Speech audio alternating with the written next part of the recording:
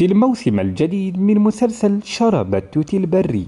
ستقع دوغا في ورطة أعتقد أن هدف هذين الشخصين ليس دوغا لكن لديهم غرض آخر. ويمكننا الإجابة على هذه الأسئلة في الموسم الجديد. من ناحية أخرى في خاتمة الموسم للمسلسل انكشفت كل الحقائق وسقطت جوركيم من الشرفة. فهل سقطت جوركيم نفسها أم ألقى بها فاتح من هناك؟ أعتقد أن جوركيم نفسها سقطت من هناك وأعتقد أنها قفزت وستتسبب في وقوع ضحية بهذه الطريقة وستعود إلى رشدها بعد بقائها في المستشفى لفترة قصيرة وبعد ذلك ستواصل خطتها الشريرة لذلك ستستمر جوركين في خطتها لتصبح أكثر خطورة من الآن فصاعدا فماذا ينتظر فاتح في هذه العملية بالفعل؟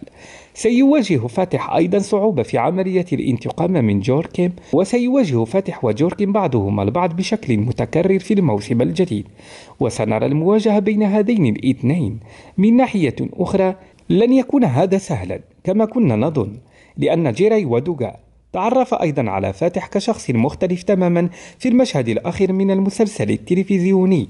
لذلك لن يكون لقاء دوغا وفاتح معا في الموسم الجديد بالسهولة التي كنا نظنها. ومع ذلك فإن القصة الرئيسية للسلسلة مبنية على هاتين الشخصيتين.